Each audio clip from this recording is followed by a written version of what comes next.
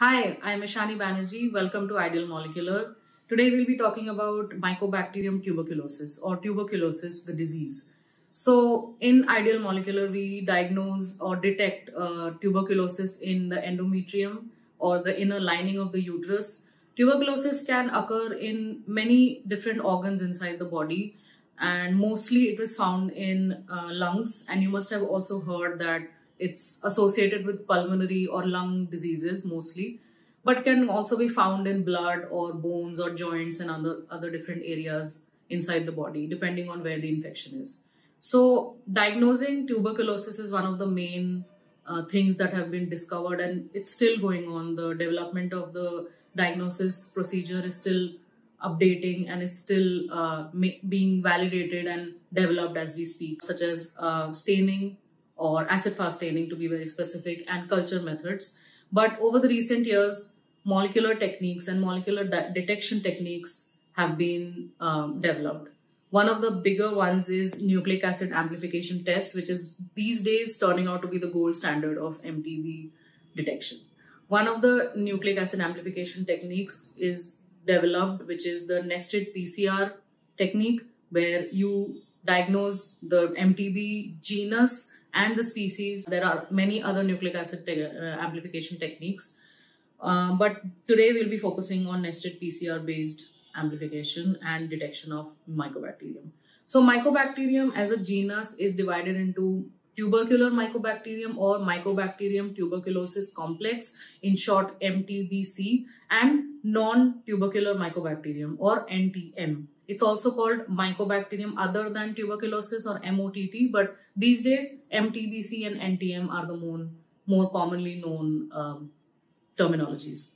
So how is PCR different from traditional methods? It, there are evidences that traditional methods have low specificity. The positive predictive value is less than uh, molecular methods and it takes a long time to culture these uh, mycobacterium one of the bigger reasons why the culture takes a long time is because mycobacterium the bacteria is a very slow growing bacteria. And also when you take the samples from the body there is a nature which is called the paucibacillary nature. The this term is it, it means that the load in that sample area the sample size or the bacterial load in the sample that you've obtained is very low. So culturing takes a lot of time it usually takes up to 6 to 8 weeks to get a definitive result from the culture you will get a definite species differentiated culture result, but it will take a long time and also the specificity is significantly low. So to combat all those things, nucleic acid amplification testing has been developed. So basically what you do in nucleic acid amplification testing or nested PCR is you take primers which will uh, which will detect the mycobacterium genus completely. You take two primers. One primer is nested within the other primer. There is an outer primer and then there is an inner primer. So the outer primer is, is looking at the conserved region of the mycobacterium and the inner primer is specifically looking at the mycobacterium tuberculosis genes. It's targeting those genes which will specifically identify tuberculosis, the species.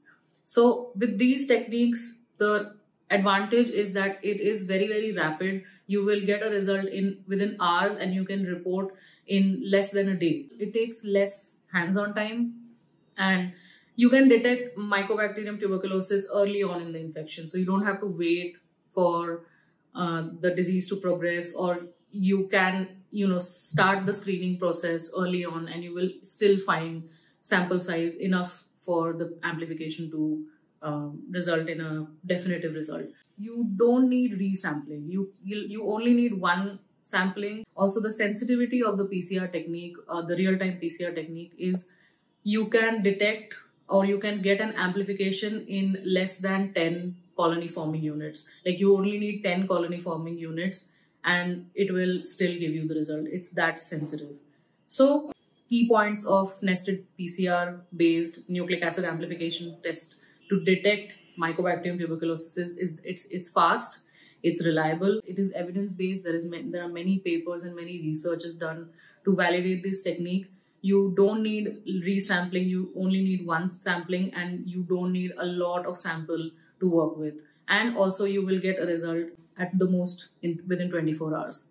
What we do in Ideal Molecular is we have been doing screenings for infertility patients. So we do, as I mentioned in my earlier videos, we screen the patients for different infections which might be causing infertility. Genital tuberculosis is a hidden infection. It happens in females more, more than males and it will result in pelvic pain, painful menstruations, or it will even cause infertility, which is one of the reasons why we screen for this bacteria before we start with infertility treatment.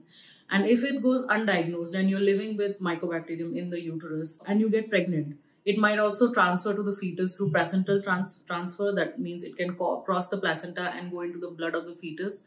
And it can also be ingested through the amniotic fluid which is around the fetus and it can also cause infections in the fetus and through that it can cause defects in the liver spleen kidneys and lungs and other organs in the in the fetus so it's essential to diagnose mycobacterium tuberculosis as soon as possible and one of the techniques which will help you is PCR or nucleic acid amplification test. It's widely known these days and it's slowly becoming the gold standard. So basically, Nucleic acid amplification test is faster than traditional culture methods or traditional uh, investigations.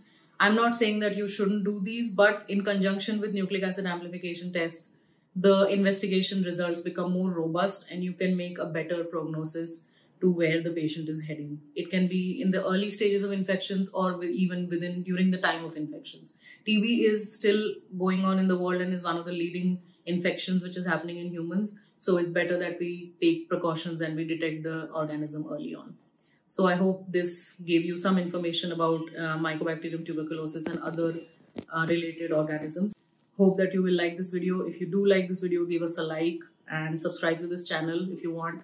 And we also have social media. It's linked down in the description. Please do give us a follow there. Visit the main website, which is also linked in the description. If you want any information on mycobacterium tuberculosis and you want to read more about uh, the nucleic acid amplification tests and other diagnostic materials, I will be linking a few papers down in the description so you can have a look. So that was it for today and I will see you next time. Next time.